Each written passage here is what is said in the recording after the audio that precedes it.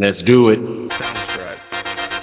This is the Trade Show's Unhinged podcast, a podcast from the Facebook group You Know You Work in Trade Shows When. This podcast centers on trade shows, live events, and experiential marketing activations in today's world. Your hosts are Todd Nall, who is the owner of Showbox Exhibits and the creator of the Facebook group You Know You Work in Trade Shows When, and Mike Morrison, Vice President of Sales for WS Display. The clock is ticking, so let's get busy and get to it, and we'll do just that after this.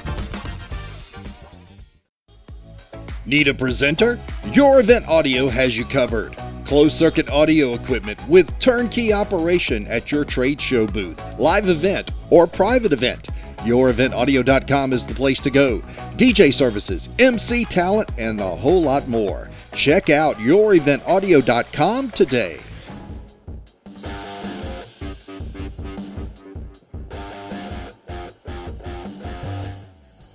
Well, September is out of the way, and now we rocky we are rocking rather into October on this October the fourth, twenty twenty four, with trade shows unhinged. I'm Mike Morrison, VP of Sales at WS Display, co-host of the shows you see there on the screen. If you're watching or listening to us, Todd Nall is the owner of Showbox Exhibits in Houston, Texas, and also the uh, co-founder of You Know You Work in Trade Shows When on Facebook. It's a group there. Uh, golly, that, that group's growing now, well over thirteen thousand plus, and people are growing. Right? Too many. Too many. Too many, Too many to govern. Every day I get a hand. I know. Yeah, I get a bunch of emails. I'm like, yeah, people want to join, but they're not answering that question if you want to join that group, you got to answer those questions. And the main one is, you know, are you going to be nice? Right. Right. Just, be nice. Play nice. Be nice. Play nice in the sandbox. You know, most people see that I have a shirt on. It's got my name on it. I usually don't do that every day. Um, I, it's not that I forgot my name. It's basically on Thursdays when I'm in town. This is Thursday before we drop the show on Friday. Uh, I have a, a, league that I bowl in. So this is a competitive bowling league shirt that I have on because it's late in the afternoon. As soon as I get done with this, I got to jump in the ride and head over to the lanes and act like I know what I'm doing with a bowling ball. So uh, I was yeah, kind of jealous the, that I don't have a, a, shirt with my name on it. I'll be glad to. I'll hook you up. I can hook you up with a with a shirt with your name on it. Hey man, it's just been one of those weeks. It's uh we're into fall now, start of third, a fourth quarter rather. Third quarter's over with. And it'll be interesting to see, Todd, the numbers within our industry of how third quarter did. Because usually, third quarter, especially rolling into September, we see a big bump in business. And uh, with the trade show, live event, conference side, uh, everything goes on there. And I know everything I read, you know, I just, as we remember, I spent uh, 11 days out in Vegas on a show uh, as well as some client calls. Everybody I talked with extremely busy. The show was a madhouse uh, in Las Vegas uh, at the convention center. Of course, MINExpo was right after that. That tore up the whole city right there in that area of Sahara and you know whatever road that that that it's on. But uh, uh, it's good things going. We'll talk about Vegas in a second. We want to start out though with uh, a story that uh, kind of snuck up on us a little bit. I think anytime you hear anything about a strike, especially as big as this one is with the longshoremen on the East Coast, all the way down into Texas, down along these ports. Uh, that's still now it's in uh, this is day before Friday, so it's third day into it, and there's no resolution yet.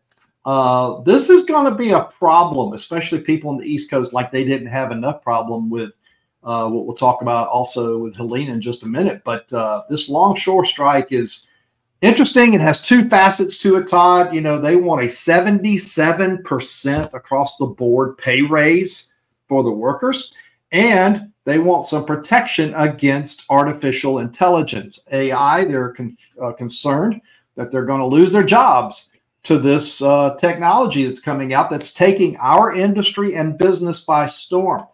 Um, I read today, just before we open the microphones, that you know it's kind of leaning in the favor of the strikers. You know, the longer it goes, uh, it appears that the administration is not going to get involved like they could. They could uh, jump in and say, "Hey, let's have a cooling off period of I think it's 80 days or so." That they could just say, "Okay, y'all get back to the table, play nice. There's that phrase again, and talk about this. You know, act like adults and talk it out.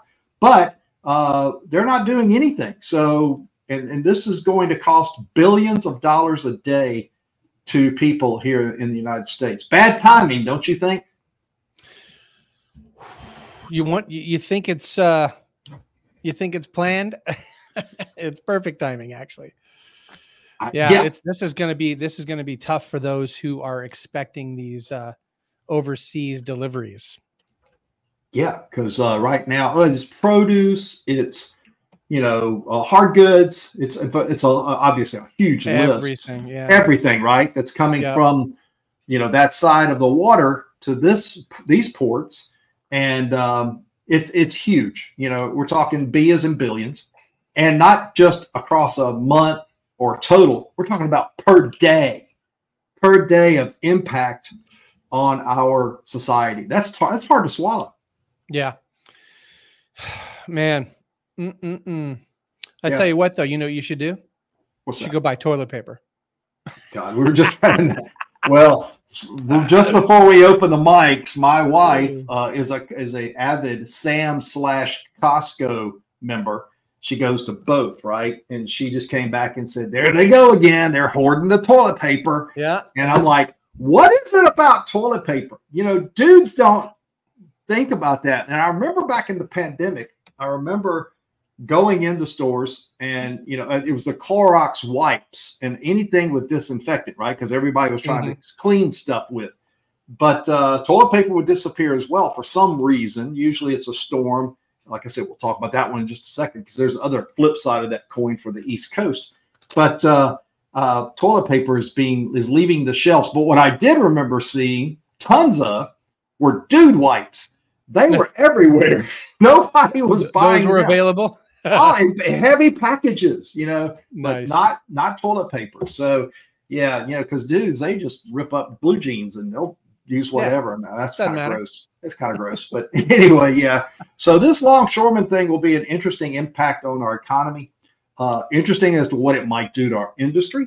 Obviously, you got people who are you know, depending on goods that are coming in, uh, I'm sure a lot of that is supplies for fixture people or for the trade show side and live events uh, of various types of componentry. And mm-hmm. it'll be interesting to see what happens if they don't uh, rally around the table and get that done.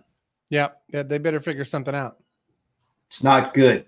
I tell you, just a quick update here. It is Friday, one day after we recorded about these dock workers and the longshore strike. There is a headline and a change in this.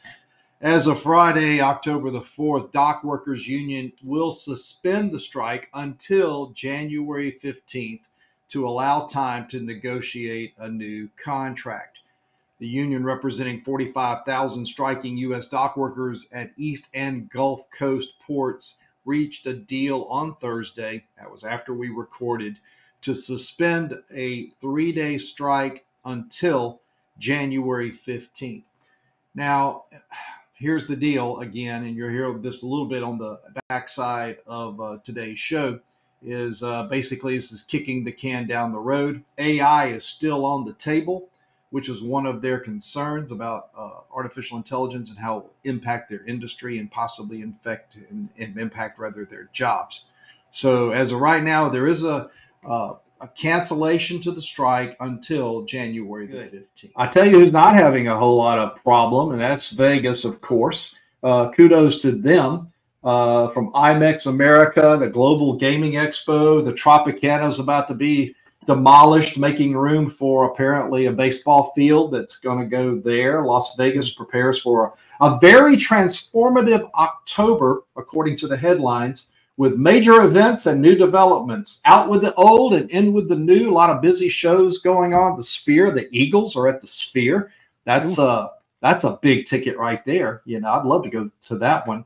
Oh, absolutely. Uh, but Vegas just doesn't uh, miss a miss a beat, does it? No, they don't. As a matter of fact, I'm going there tomorrow for the G2E show. So I'll be there every week this this month. So that makes a lot of sense. Wow, you're clocking those miles, man. Mm-hmm. That's uh, I'm I'm headed to Kansas City next week for oh, a, re- retail show. Uh, it's a conference, uh, Shop Ideation and uh, IRDC, which is uh, uh, you know, a big conglomeration of ideas of what's going on retail as a supplier for that. You know, we participate in that, so that'll be interesting. But yeah, it's going to be a busy October, just as it were in September. Before we take a break uh, and talk about some other things, Helene, um, that that was a problem. Uh, a big hurricane that came right up through from Mexico into the Florida area, massive amounts of problems in Georgia, South Georgia, and then moving up the east side of metro Atlanta into South Carolina, and then wreaked serious havoc in North Carolina. I am seeing massive reports about helicopter uh, rescues that are going on there. Um, it could cost that area, the areas of, of demolishing, the death tolls well over, I think you said 200 at this point. That's what I heard today. Yeah. And, and climbing because, you know, North Carolina, they're in there with civilian helicopters trying to rescue people. I know you've got a story about that. You can tell in just a second, but well over 160 billion dollars worth of damage there. And it's just like doom and glooms to start the month of October, right? Yeah, who who in North Carolina prepares for a hurricane that comes up through the Gulf? Right. You know, I mean, it just took everybody, blindsided everybody. Yeah, um, a friend of mine, um, he uh, he just recently got hit, got a he bought a, a helicopter out of Venezuela, and uh, it, came, it came in in pieces, and uh, he had it refurbed, um, and he he just got it, got it just in time, and was able to um, take that up to up to the Carolinas and and and help bring water, help bring formula, help um, save people. Uh, he saved a baby. Um, it was just it was just a, you know a, a great time, uh, timing for him to to get the chopper and then be able to help. His name is Cletus McFarland. Um, he's he's a pretty famous dude, um, YouTuber, and uh, he he went up there with his new it's refurbed MD8 MD 500 I think it is um, helicopter, and uh, yeah, it's just heart it's heart wrenching some of the videos that uh, that he had posted of the devastation. But uh, yeah, helicopter help is is absolutely and that's is necessary right now because the roads are completely washed out. And that's the thing, you know, I, did see, I don't know if it was this gentleman or not, it was somebody from Florida who was up there with about 20 or 30 other civilian helicopters that literally are just dropping down and trying to find people and get them out. Uh, this one uh, guy posted on TikTok happened to show up on Facebook Reels this morning that um, they saved an 11 month old baby uh, who was stuck. Who was no, I mean, he was going to die. There was no way to, to that. And then there was some older uh, people in the house, one on oxygen, and they had one day left of, of air oxygen? supply of oxygen. Wow or they would have passed. That's crazy. So you know, and and his his gripe was and legitimate. Where's the administration on this? Where's the military helicopters? Yeah. Where's you know, it's like two or three. You know, and there's a I think they're just now getting in. I think the the military is just now getting in. What is it? A week later? Exactly. When did you do yeah. the Randy? Was that Thursday? Last Thursday, we were in the Randy. We're talking so, about that one. Go so ahead. it was hitting a week ago. Yes, and we're a week late. We're reacted and you know that's that's something that uh, you know these these bad circumstances are bad timing in an election cycle especially in the east where people remember stuff like this. You know you've got uh, uh, the the strikes and you've got um, you know that now this hurricane and you know what else is going to happen in october? Because this is hurricane season by the way as we roll yeah. into october I mean, november we're talking about the end of it we're we're coming up on the end of it. Yeah. Right. Yeah. So this this was bound to happen. Mm-hmm. Um, you know, for the most part, I remember in Florida, I talked to a lot of clients, and uh, they actually a lot of them wrote it out. Uh, they were like, "No, it wasn't that wasn't that bad. It was a lot of rain, but not a lot of damage. At least not enough to make them evacuate." Yeah. Uh, but apparently, the the thrust of the eye that did the damage came up through Georgia, like I said, and then to the South Carolina, North Carolina area, then veered off and and then you know left a lot of rain, but um, just just bad bad week um, for for that. It's uh, really kind of sad to, to hear all of this. From a trade show perspective, we're busy. Uh, that's good.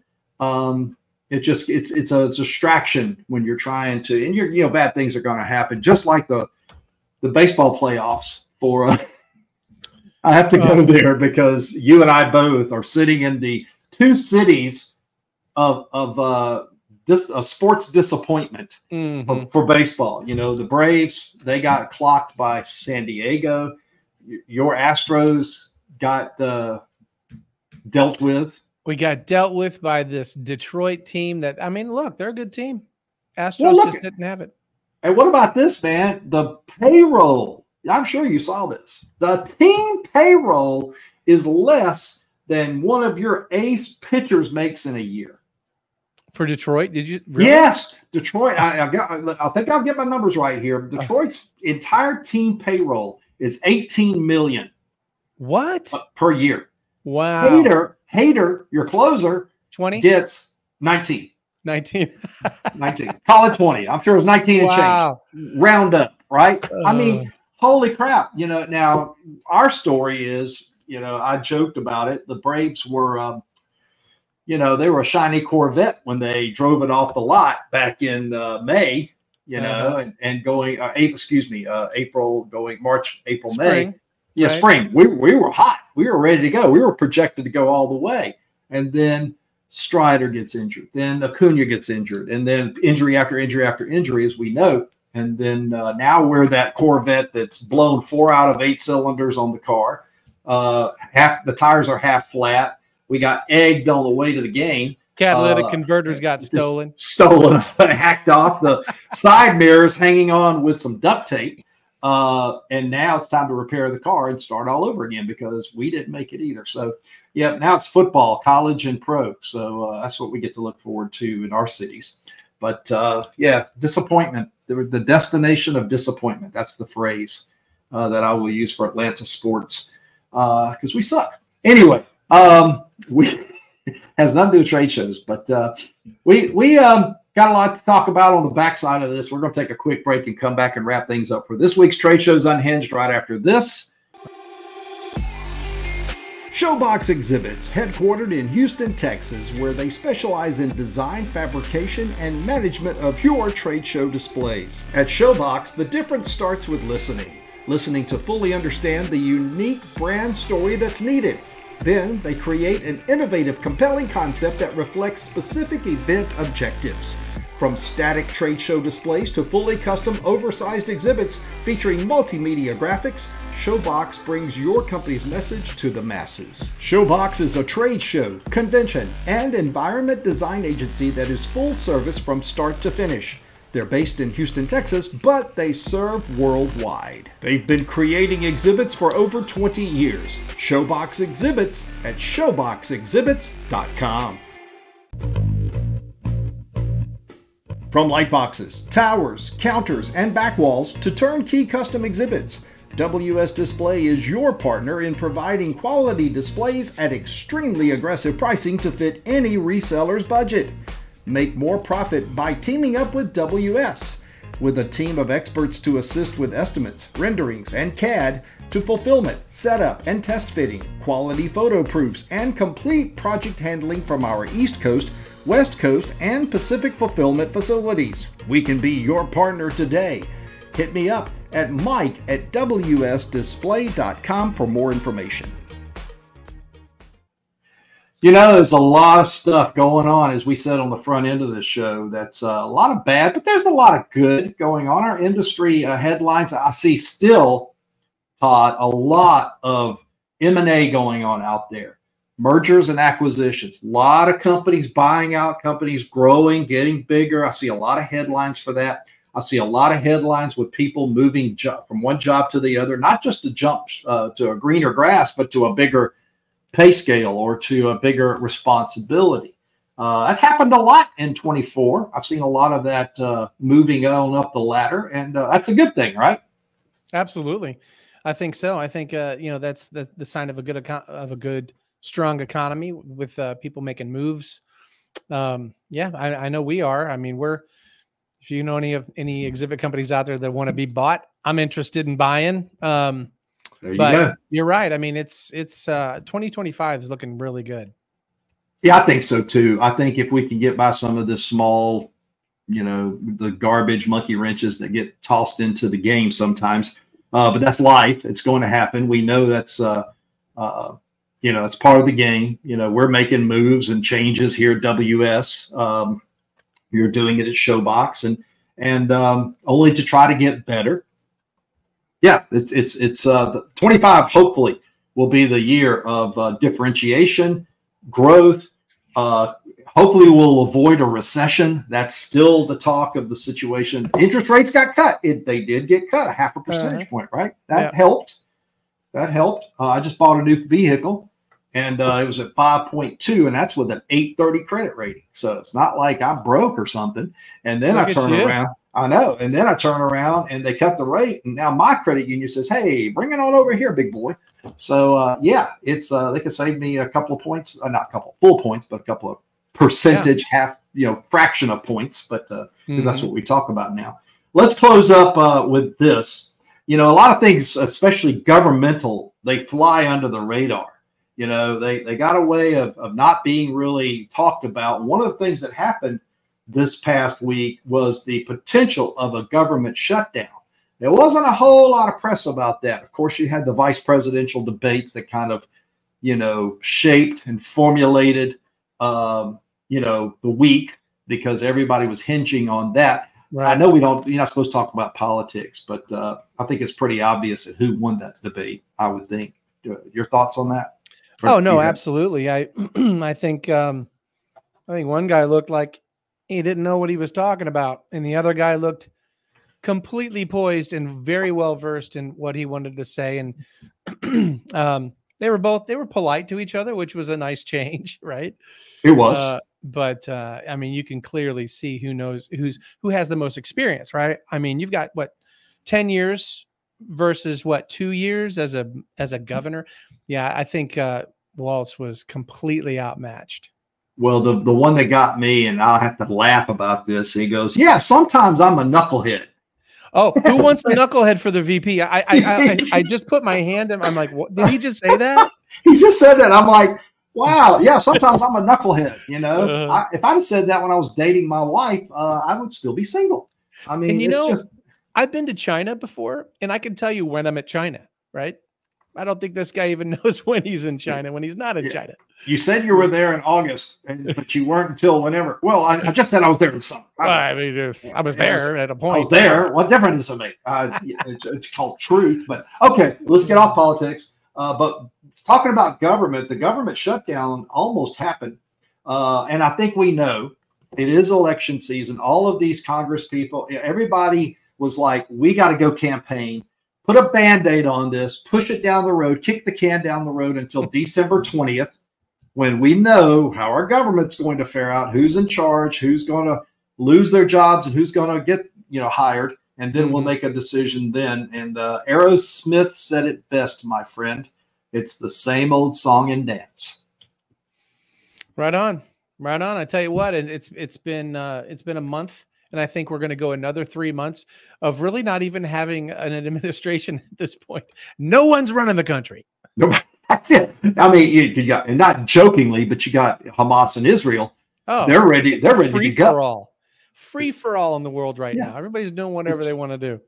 Yeah, absolutely. And you got a couple of months to figure that out, and then mm-hmm. at the mm-hmm. end of that, uh, it's gonna, you know, less than a month, really. It's right at a month.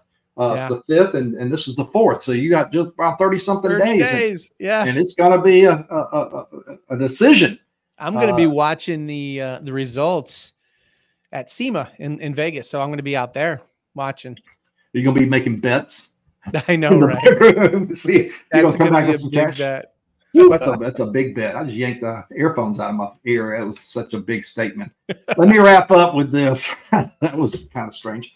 Um, the Randy Smith Memorial Golf Classic, we promoted it a couple times on the show. We pre- I appreciate you allowing me to do that. We did have that tournament on Thursday. It was a rain or shine event, and the hurricane did play havoc with us. We did get it in. Uh, we reluctantly got out there and played in driving rain. Um, it is mm. the most miserable weather to play in because you play 13, 14 holes out of 18. By the time you're soaking wet down to your wallet, my wallet was ruined, by the way. Uh, had checks. Fortunately, there's no money in it. There, yeah, none. Uh, truth hurts sometimes. But my my credit cards, debit cards were. It's amazing. Here's my point. Did you know that if your debit card and the chip that's in your card, if it gets soaking wet, it's still good and it still Oh, works. yeah. Yeah. I did There's not no know moving that. parts.